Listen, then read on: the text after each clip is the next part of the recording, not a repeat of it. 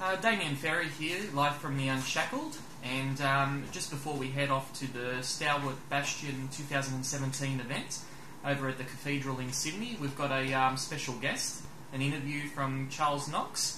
And uh, tell us a bit about you. Yourself, Charles. Thank you. It's a pleasure to meet you, and a pleasure to see you all, in a manner of speaking.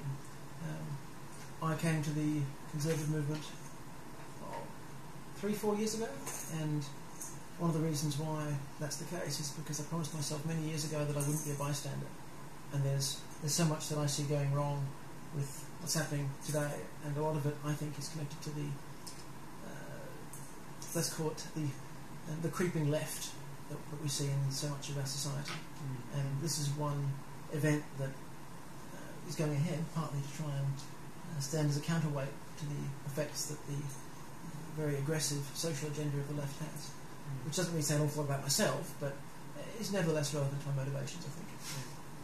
No worries. And um, so um, I, I guess um, that was the main reason why you um, were driven to create this event in the first place, as a um, to to show that there is another voice out there in the community that isn't um, very very much uh, given that opportunity to be heard. That's very true. Um, in increasing years, increasing degree rather, in recent years, the the left and the homosexual lobby has been very aggressive in promoting pro-homosexual causes, and it's one thing to um, have a, a sexual dysfunction, which is what I would assert homosexuality is, as it prevents um, biology from doing what it's supposed to do.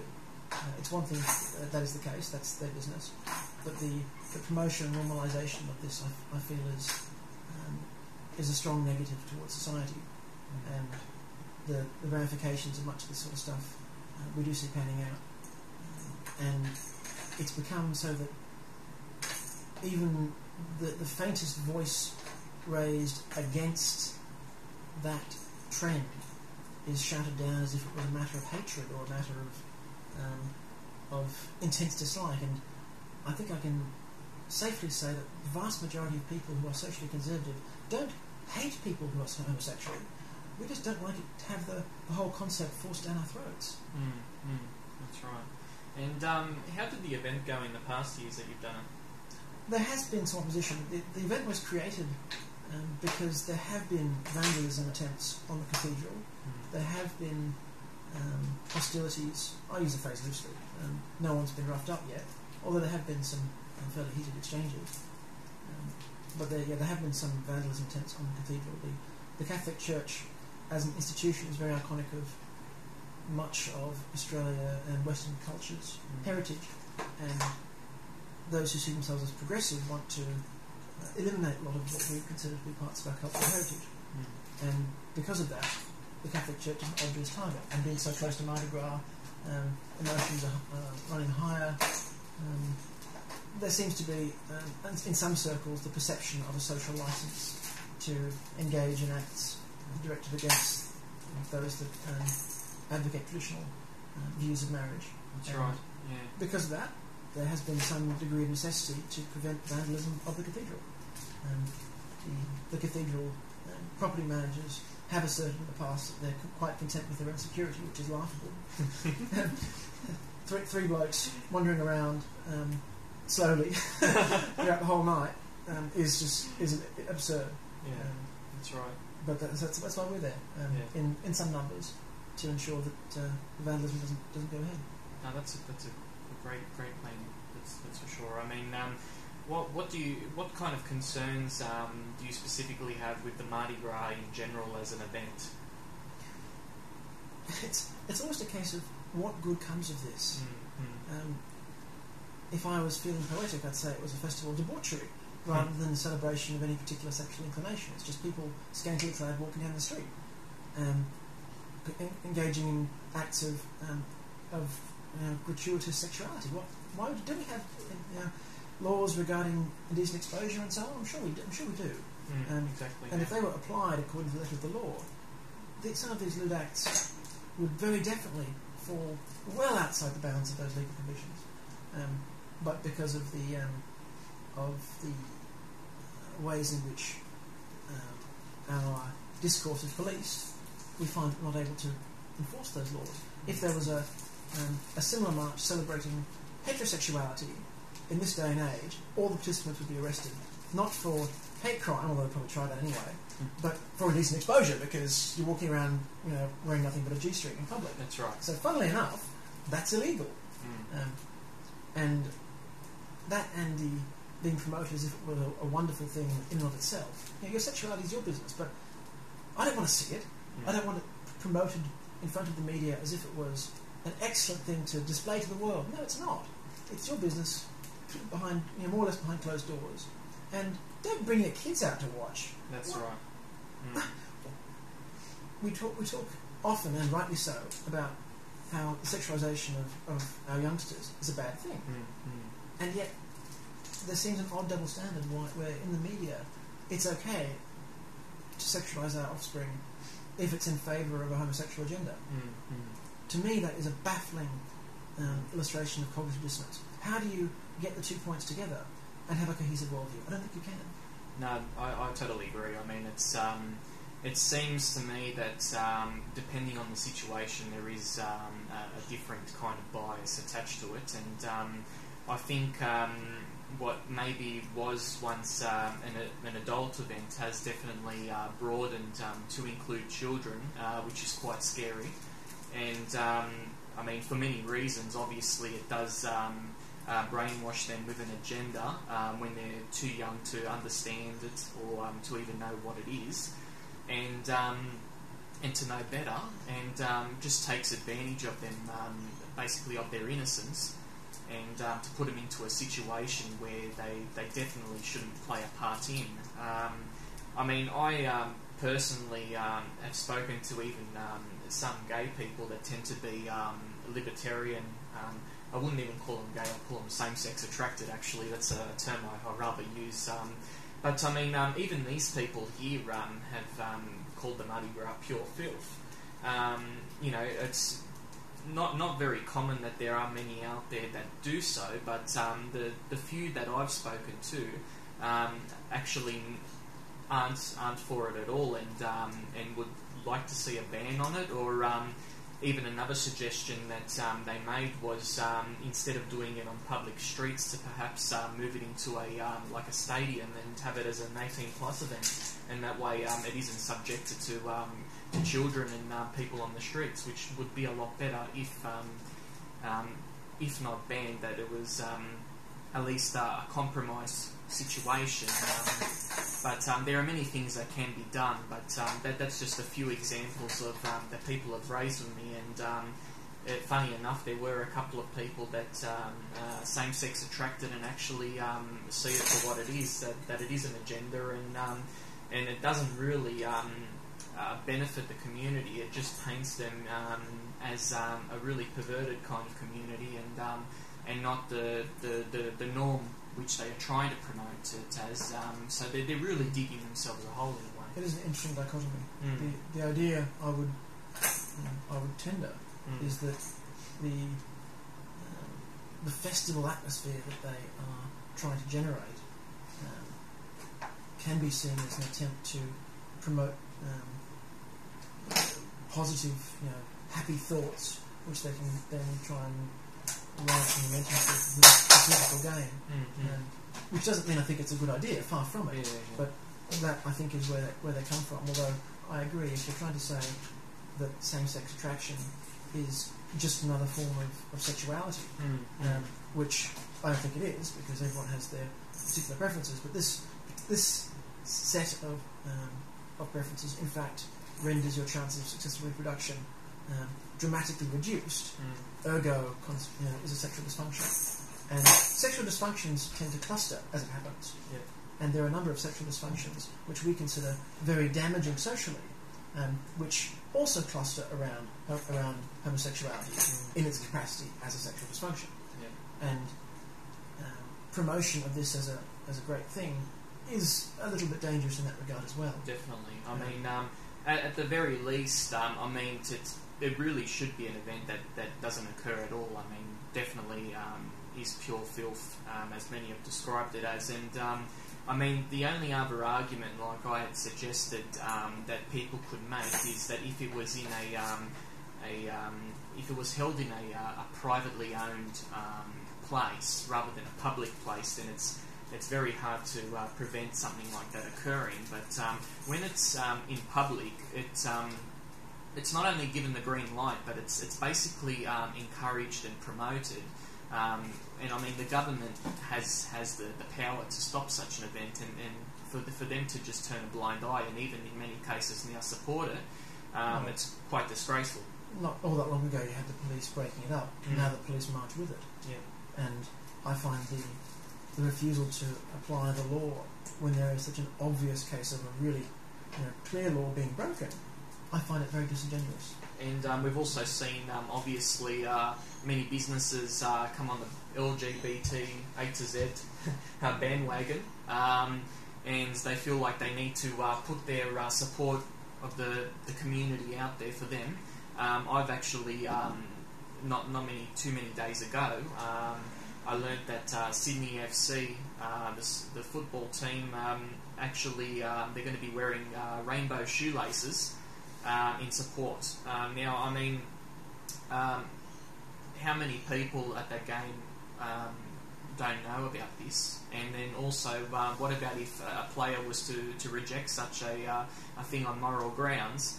I mean, imagine the, the coverage that he would get. So, I mean, it's to see all these businesses really um, play this game and um, to come out in support of this. I mean, it's um, it, it, really is disgraceful. And I mean, just imagine if um, if anyone was seen to uh, support a um, a Christian group or uh, a Christian cause, it just wouldn't happen, would it? I mean, it's just not They, they- they would obviously be assumed they were a, a wicked, evil, racist bigot Mm. who hates everyone. Definitely labelled a, uh, a hate group. Nevertheless, um, I mean, how important is it that we have the opportunity to voice our freedom of speech um, to such um, an event? And I mean, it's obviously something that uh, um, affects everybody. I mean, they, they like to, to think that um, basically it's one of those, uh, well, it, it's got nothing to do with you. Um, if you if you uh, don't like it, don't watch it. But it, it definitely, ha- um, since being in public and, and uh, and being promoted, it definitely does affect everybody. And um, I mean, how important is is being able to um, voice our speech, and um, especially when you have a lot of people in the media and everything against us. I mean, um, what do you think about that? It's always good to, to have the right to express your opinion in general. Um, Voltaire famously uh, spoke, so actually it wasn't Voltaire, but it's attributed to Voltaire in, in general parlance. He said, I will um, disagree with what you say, but defend to the death your right to say it. That's right. Yeah. But that is, that is definitely no longer the case now. there are many provisions against freedom of speech, and um, as it so happens, this particular event isn't actually saying anything per se. um, Stalwart Bastion 2017 is is really just making sure that the cathedral is not vandalised on, on Mardi Gras night. There's no explicit statement um, by the event in any way, shape, or form. Um, it is just an interesting cu- um, you know, curiosity, coincidence, if you will, that on Mardi Gras night the cathedral has been subject to, to several um, cases of attempted vandalism for the last few years Mm, by coincidence. right. Um, so by coincidence, there will be a number of people that will be there to make sure it doesn't happen. Um, freedom of speech is an important part of not just how we see ourselves but how our perception of freedom exists, but it's, one we also take very much for granted because it's been in place within this country at least for a very long time Mm, and we've had a, a creeping erosion of it for a while now, and, and you're starting to see things like people being censured for expressing views that are really fairly commonly held.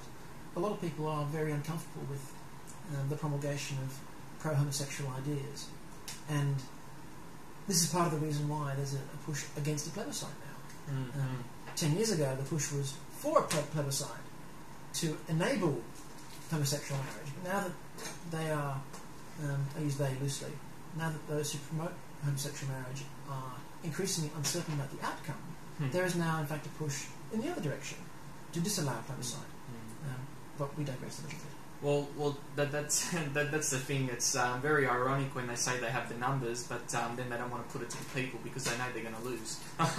I mean, the, the silent majority is definitely against um, any changes. I mean, that, that there's no question about it. Um, that uh, um, only thinking that um, elements in the inner city is somehow representative of the whole country is, is quite funny and you know just laughable. I mean, and yeah, like I said, I mean, if they really were serious about doing it, bring it to a vote, and um, we'd be happy to see the result at the end of it because it's not the result they're going to want.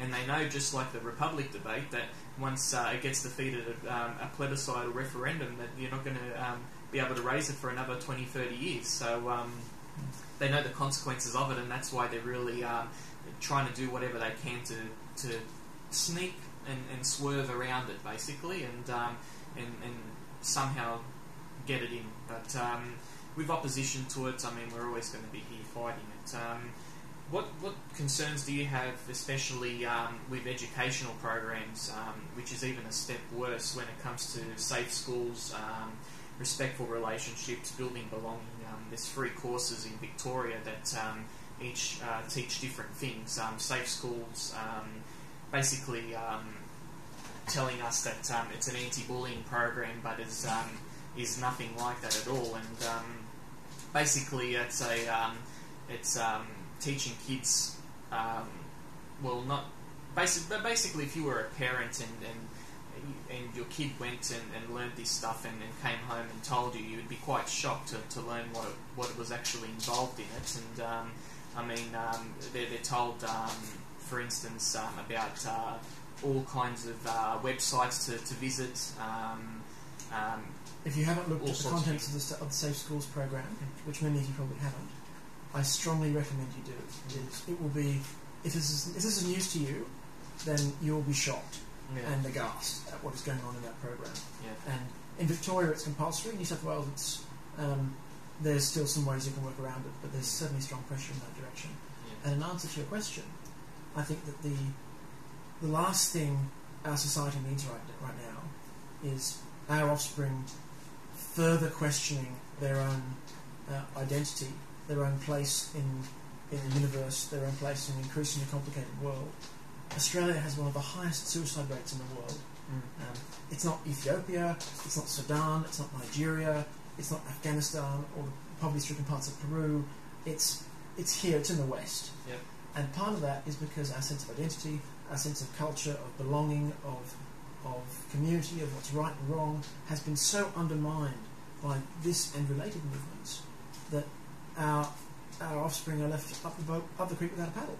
Um, yeah, that, that's exactly right. boat. Yeah, yeah, yeah, yeah, I um, mean, um, I was just going to actually um, raise. Um, I mean, obviously, the Safe Schools program has a lot of issues um, there where it's promoting uh, a really bizarre and uh, perverted sexual education uh, form to our children. But uh, then you've also got other programs that, that, that wasn't enough for the Premier. I mean, he needed more. That wasn't enough. So um, you had to bring uh, respectful relationships uh, uh, program in, and that was another program that taught about um, uh, male privilege. That we were somehow privileged because of our gender, our race, um, more than anybody else. Even though it's minorities that get handouts, but uh, we were somehow privileged in the world, and um, and basically also um, taught that um, um, well, not in direct terms, but indirect terms that uh, men were uh, responsible for domestic violence, and basically, we, you know, we were just evil and you know really bad people that um, you know came home and beat our wives up. Um, you know, this this is crazy. This this is what the program teaches young kids. You know.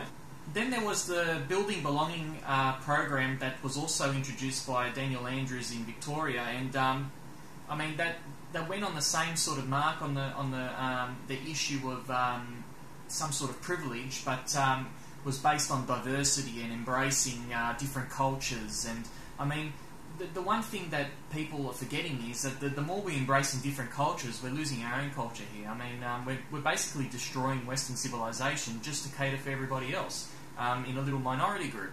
Um, so, I mean, with these three programs in place, and like you said, uh, Victoria definitely has it in place and doesn't seem like it's going anywhere um, anytime soon. But um, New South Wales has followed suit, and this is from the Liberal Party. I mean, the Liberal Party is supposed to stand up for conservatism, um, yet um, they aren't fighting it. I mean, um, it's us on the on the outer that, that are the so-called extremists that um, have to basically go out there and fight this. Um, it's it's quite bizarre.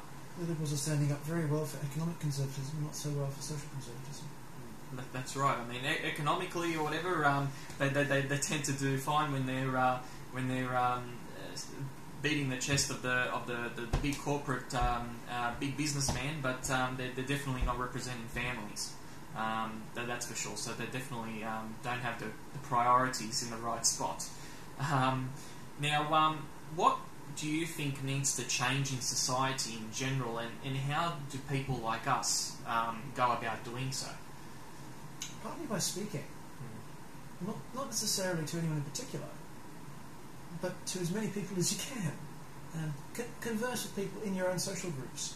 Um, reason with them as to why you think what you think. Mm. Um, don't be afraid of who you are and, and why you are what you are.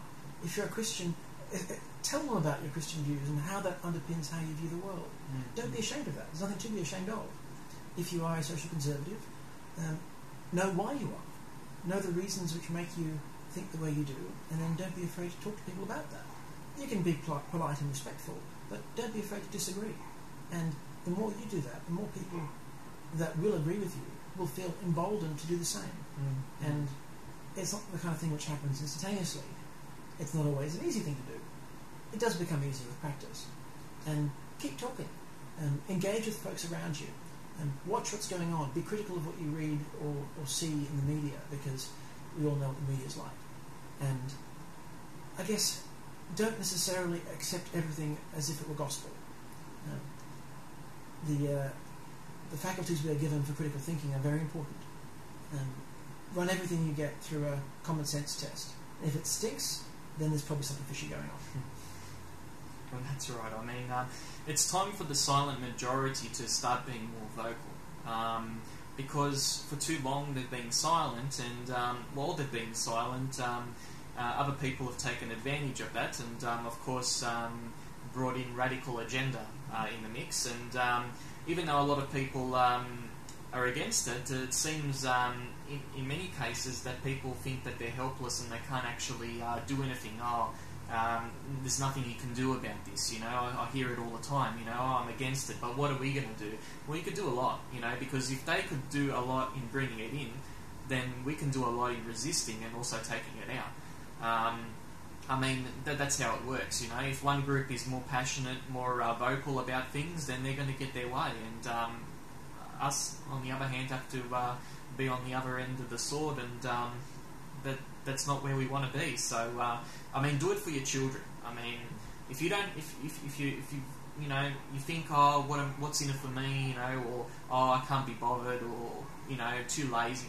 Do it for your kids, um, because that's the world they're going to be living in. I mean, you might be, you know, an older person and say, oh, well, you know, I mean, times have changed, but what about the world that they're going to be brought up in? What about uh, the experiences? Because I know for one that um, uh, when they end up um, growing up in school and um, that this all of a sudden becomes the norm, and then having some sort of moral fabric in um, in your body um, is um, instead uh, put down and, um, The and new and- heresy.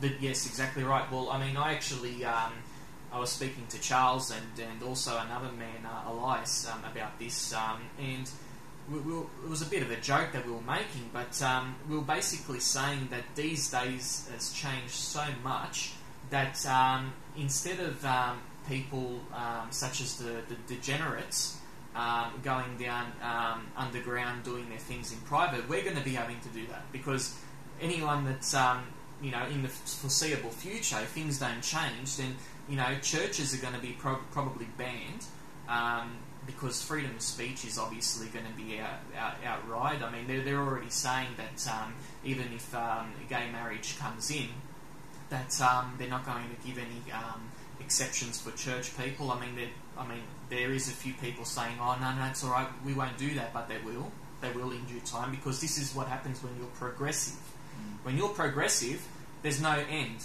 There's progress continues on and on. So it's not, oh yeah, we're satisfied with that and that's it. We won't do any more. No, it doesn't work that way. Didn't You know. Mao call it perpetual revolution or some such? Well, you know, I mean, th- this is the thing. I mean, to, to be progressive, you are continuing wanting to change. You're wanting to change things and pushing boundaries, pushing norms. and soon we're going to be having to go to church underneath the ground where no one can see us because it's going to be most likely outlawed and um, going to be called like a heresy. I mean, th- this is how bizarre, and this has only happened in the last 50 years. Two generations, and it's 360. I mean, two generations, 50 years, for something like this to have happened. And I mean, not only that, all you have to do is look overseas and see the countries that have brought in gay marriages. What have they brought in next? What have they brought in next? They've brought in other stuff, haven't they? They've brought in polygamy in some places. They've brought in um, uh, uh, pedophilia. They've gone soft on. So um, that that's becoming more of a social norm. Um, even some countries in Northern Europe, uh, bestiality is uh, something of a norm now. So I mean, this is the problem. There is no stopping. There, there is, uh, unless until they, they go to an ultimate utopia of Sodom, there there is no stopping them. There's always going to be more and more out of what they call diversity, acceptance, love, harmony. All these peace, you know, all these words they use. Um, you know, to accept things that shouldn't be accepted. And I mean, just to mention Safe Schools, who were the people that were actually behind the Safe Schools um, program? You had Roz Ward, which was um, some sort of transgendered um, person that um, said that they're not going to be um, um, quitting or this fight that they're, they're doing until the red flag is flown over Melbourne Parliament House. Not far off. You know, not far off. I mean, they've got the right man in charge.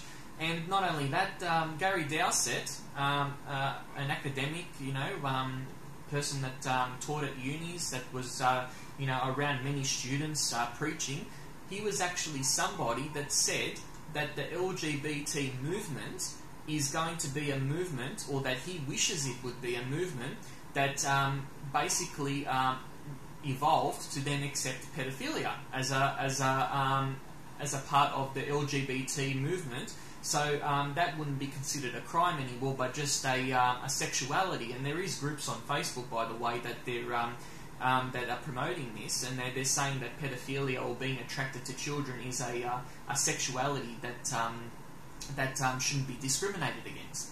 And no matter if you report the group, I mean, Zuckerberg isn't going to be, you know, deleting that. You know, he'll go deleting Christian groups or, you know, um, groups that are, you know, anti-immigration or something, you know, controversial. There have been speeches in British Parliament making very similar points, yeah. which, which, I find abominable. Mm. But nevertheless, that, that is actually rhetoric from um, political establishments, from media, which is very close to mainstream. So you may think this is scaremongering.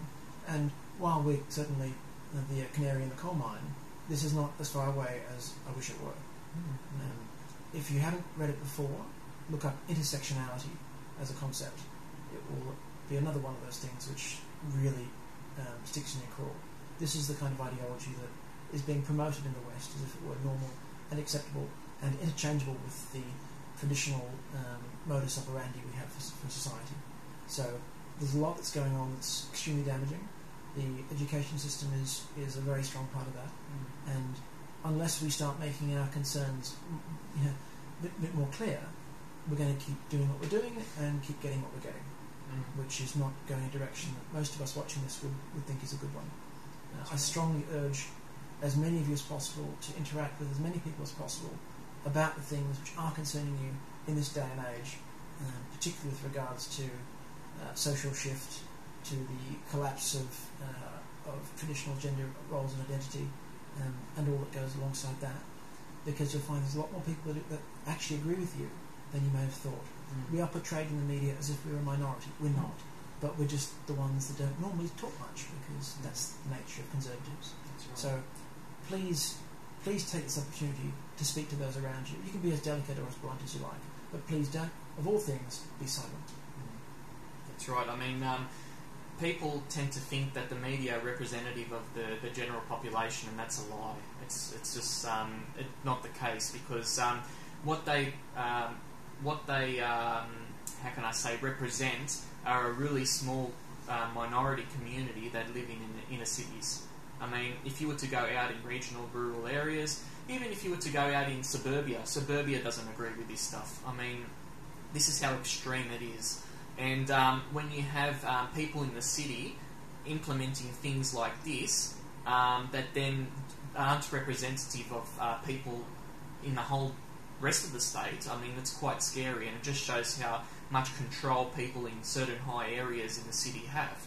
Um, it's a very much corrupt kind of situation, and um, like like we said, I mean, this is only a start, and they're going to continue on. I mean, all you have to do is look at it this way. Um, something like um, gay marriage, for instance, that would have been, you know, unthinkable ten years ago. Now all of a sudden, it's you know something that must be done. Now, um, at the moment, you know, it's unthinkable, you know, to think that um, it, it, it's right or um, or that it's just a um, sexual orientation to be attracted to children. What about in ten years' time? Could change. See, so make sure that you, you see what's going on and, and think because there's a lot of people that might be even oh you know gays getting married aren't a big deal for me you know but think more outside the box because if you allow one thing to go, then everything else follows it. You might be even for it, or might think, oh yeah, you know, it's not a big deal. Okay, rightfully so. But then, what about everything else that comes after that? Because as soon as you give green light to one thing, they're going to continue pushing. These people aren't there to say, oh yeah, we just want this and we're going to be happy and we're going to be, you know, no, it doesn't work. They've got utopia in their head, and utopia ain't until everything is chaotic, 180 degree, just a massive shift. Like society has to be, you know, damaged. The family has to not exist anymore. What, what's considered a norm or nuclear family. Um, th- th- that's what they've got in mind. So um, allowing little bits and pieces coming through, sneaking in. Um, don't ever think that you are, you know, that you're, you're compromising with them. You don't need, you shouldn't be compromising because they're going to take advantage. They'll never compromise on you. They'll never compromise with you on your values. So don't ever do that to them. And politicians are falling in the trap. They're thinking, oh, if I give them this, they'll leave us alone. No, they're not. They're going to come back in another six months or a year, and they're going to want something else. And it's going to continually go downhill. And that, that, that's how it is, you know. I mean, um, it'll never if, stop. If you think it doesn't happen, look at the uh, onward march of gun control in America, or the onward march of the anti-smoking campaigns. Not that I'm necessarily for or against those points, just just to make the point, but people with a, with a particularly um, firm ideological bent will ask for a certain amount. If they get half of it, they're happy because six months down the track, you ask for it again, and you get half of that, and they will keep keep pushing their agenda further and further, and that's exactly what we're seeing in this regard. That, that's how politics works, people. I mean, um, you ask for a little bit, then a little bit later, you ask for a little bit more, and then eventually you get what you want. And um, let's just say it this way: um, these kind of people might only have um, 10% of what they want. I mean, th- th- there's a lot more down the track that they want, and they haven't got it yet. And they're going nice and slow, but, you know, 50 years, I mean, that's all it's taken to get to, to this stage. So, I mean, the people that first pushed it are still alive. So, I mean, you know, you, don't. You, you don't think that they're going to be, you know, all of a sudden satisfied. They're, they're not satisfied until they get everything. And um, it takes time, but slowly, slowly, when people become more accepting of it, generations, generations start to lose a little bit more, a little bit more, and then it's going to be the norm. It's going to be the norm with our kids or their kids. You know, I mean, definitely will be. Um, what What are you trying to achieve um, as, a, as a final sort of question um, um today with the um, with the events? Like, um, what do you hope to get out of it? We've got two primary objectives. The first is to prevent damage to the cathedral and anyone in it. That's, That's our right. fir- that's the that's the reason we're here Mm. in the in the immediate sense. Um, it has been the target of attacks before, and we expect it will be again. Maybe a bit, bit less so this this year because of the of the rain. The Lord's seen fit to provide us with Mm. some rain. Um, that's the short term. In the longer term, conservatives of all stripes, I'm sure, will agree that regardless of one's stance on gay marriage or many other issues, the vandalism of the cathedral is not a, not a good thing, and therefore we expect to draw people who are engaged in, in politics to this particular event and provide a networking tool for people that are interested in, in social matters. Um, in that regard, I think we're being very well served. We've got a good turnout this year. So, um, in answer to your question, I think that's the, the two major points for, for Stalwart Bastion 2017. Yeah, I mean, um, it, it's a great event, and I urge a lot of people to come out um, in the following years. Um, I mean, it's um, it, it's we're definitely not going to be getting any media coverage unless one of us, you know, um, accidentally bashes uh, someone of the opposing side. Then we're going to get plenty of media coverage. Don't worry about that.